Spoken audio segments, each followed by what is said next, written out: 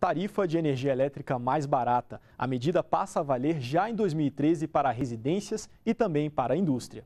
Para viabilizar a redução nos valores das tarifas de energia, o governo abriu mão de alguns encargos embutidos na conta de luz. Além disso, foi proposta às concessionárias de geração e distribuição de energia a antecipação da renovação dos contratos, que venceriam entre 2015 e 2017. Com o final do prazo estipulado pelo Ministério de Minas e Energia, 100% das transmissoras e 60% das geradoras aceitaram a proposta. O governo federal lamentou a não adesão de todas as empresas. Mas o compromisso com a redução da tarifa de energia elétrica foi garantido pela presidenta Dilma Rousseff. Reduzir o preço da energia é uma decisão da qual o governo federal não recuará, apesar de lamentar profundamente a imensa insensibilidade daqueles que não percebem a importância disso.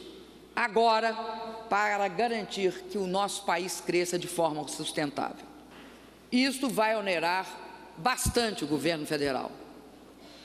E quando perguntarem para onde vão os recursos do governo, orçamentários do governo, uma parte irá para suprir para a indústria brasileira e para a população brasileira aquilo que outros não tiveram a sensibilidade de fazer.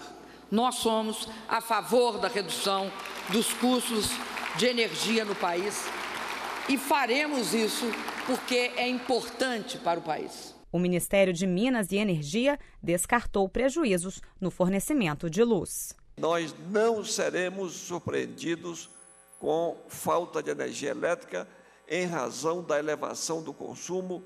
A redução das tarifas é um benefício ao povo brasileiro não importará em um dano ao sistema elétrico brasileiro. É importante lembrar que do outro lado você vai ter uma, uma retomada e vai gerar oportunidade de competitividade para a indústria nacional, fazendo com que você crie também novas oportunidades. Exporte mais, tenha mais emprego e arrecade mais. Mãe de oito filhos, a dona de casa Marli Ferreira comemorou a medida. Atualmente, ela paga uma média de 114 reais por mês pela energia elétrica. A moradora de Brasília calcula que a conta de luz pode ficar até 18 reais mais barata. Para mim vai ser bom porque já vai sobrar né, um, dinheiro para mim, né, comprar uma roupinha, um pazinho de calçado para eles, aí um caderno, precisar comprar um caderno, aí já dá para já é uma ajuda, né?